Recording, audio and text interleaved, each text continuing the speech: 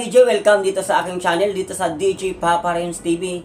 Mga ka-DJ, ang ating pag-uusapan ngayon at ang ating pag-aaralan ngayon kung paano maglagay ng Nightbot sa inyong live streaming. Ngayon mga kaibigan, ano po ba ang tulong ng Nightbot? Ang Nightbot mga kapatid, siya yung ah, magbabantay ng mga spammer sa iyong live stream.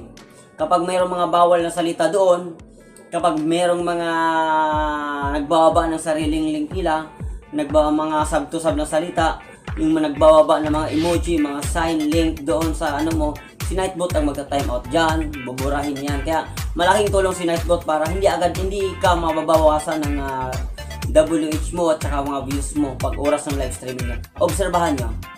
Halimbawa, wala kayong Nightbot, tapos maraming mga spammer dyan. Tuwing nagla-live streaming kayo, pagkatapos ng live streaming nyo, nakikita nyo ay nakakakuha kayo ng 200 plus, 250, 300 plus. Tapos mga after 1 hour o 3 hours mga kapatid, o maybe, eh, depende pag ah, ilang oras magre-review si YouTube, ma mag, ah, magtataka kayo dyan mga kaibigan, kanina tinignan mo 350 yung views mo, biglang bumaba, naging 180 na lang.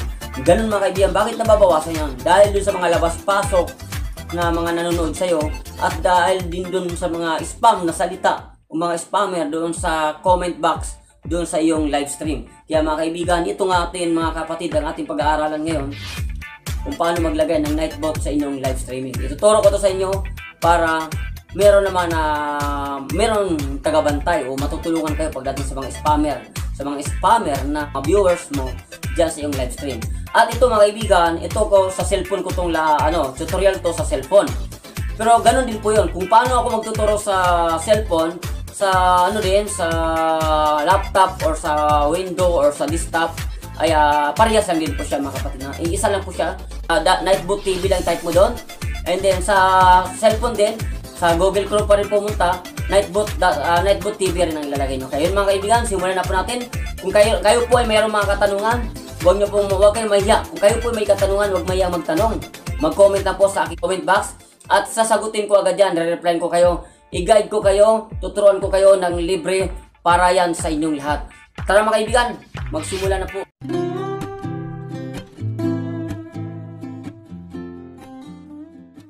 Tuturuan ko kayo paano gumawa ng ano, Nightbot para meron kayong sariling moderator na maninita sa mga pasaway sa channel niyo. Punta ka sa Google dito sa Google Chrome yung uh, Nightbot Nightbot TV. Ilagay niyo diyan Nightbot TV.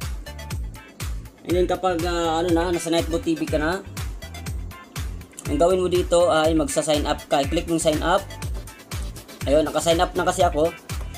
Pag naka-click ka ng sign up, i-click mo yung YouTube. Tapos, pag na-click na YouTube, dito ka na, nandito ka na sa loob.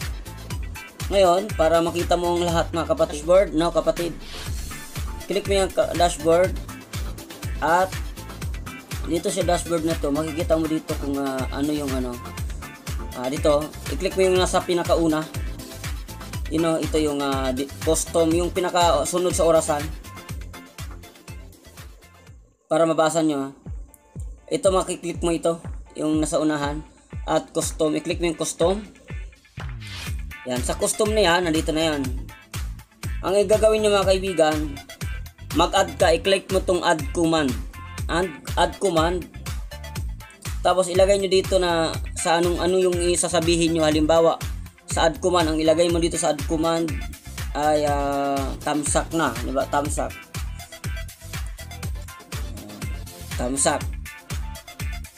Uh, sabi mo lang kasi pag magsabing tamsak na, magpapasalamat yan siya. Sabi ni, mag-automatic si Nightbot na magpapasalamat. Tamsak, ayan na.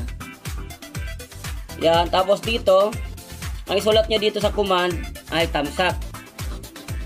Tamsak. Tapos, dito sa message, ilalagay niyo dito, sa message na to, ilagay niyo dito ay uh, uh, thanks for coming. Mm, thanks na thanks for coming. Thanks for coming my uh, live stream. Thanks to come our live stream. Yan, my live stream in uh, in your thumbs in your thumbsack. Your thumbsack. Lagay nyo lang dyan. In your thumbsack. Automatic yan. Si, ah, ano, si Nightbot, mag-automatic yan. Magpapasalamat sa inyo. Yan.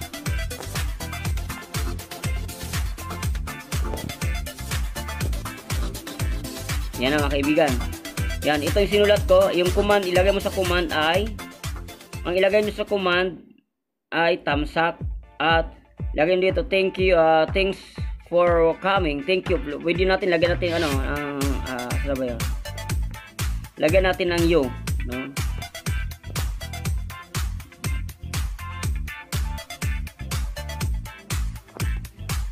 Yan thank you thank you for coming. Our live stream ilagay. Yan ang ilagay natin dito. Thumbsuck sa command yan ha? Yan yung, uh, yun lang yung gagalawin mo. Tapos dito sa user uh, user label lagay mo na sa everyone nang ilagay mo dyan. Everyone ha? Everyone. Yan naklik mo na everyone. Wag mong ilagay sa owner ha? Everyone. Tapos yung uh, count yung cooldown 5 seconds lang ha? Magbigay ka ng 5 seconds. Para halimbawa yung mga nag-ano dyan yung uh, 5 seconds lang ilalagay mo doon ha? Tapos yun na dito iba tapos balik ka na ngayon doon sa balik ka na doon sa ano? Yan balik ka na. Ito na yung message mo no? Nakalagay dito thank you thumbs up for coming uh, thank you for coming in your thumbs up. Yan na yung message natin. Tapos dito mga kapatid pag back mo dyan punta na tayo ngayon doon sa dashboard itong pinakauna. Yung pinakauna dashboard kapag nasa dashboard na kayo i-click nyo itong join to channel pag i-click mo ito, join to channel mga kapatid, ito, itong nakakulay pula yung uh, HTTPS, i-copy paste mo to. I-copy paste mo yan. Ay, i-copy paste, i-copy mo pala, i-copy mo yan. Copy mo na yung link, i-click mo na yung uh, community setting. Pag click mo ng community setting, nandito na tayo sa ating community setting. I-add mo yun na yung kinapin nyo, yung kinapin nyo kanina na link doon sa Nightbot, i-copy paste nyo dito sa moderator. Yan, i-copy paste nyo dyan. Ayan, pagka copy paste nyo, yan, nandyan yan si Nightbot. Tapos, i-check natin sa taas, nandun na si Nightbot sa taas. Check natin sa taas, i-check natin kung nandun na ba si Nightbot. Yan, i-check natin.